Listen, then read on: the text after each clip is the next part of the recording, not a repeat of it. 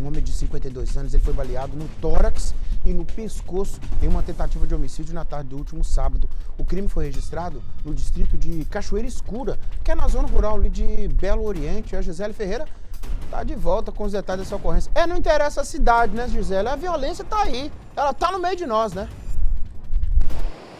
Testemunhas contaram que o suspeito de 40 anos bebia em um imóvel ao lado da casa desta vítima e que após os disparos o viram correndo pela rua. Na casa da vítima, um homem de 52 anos, foram, ele foi encontrado na cama com uma perfuração no pescoço. Na casa dele, os militares também encontraram vestígios de sangue próximo à cama onde ele estava.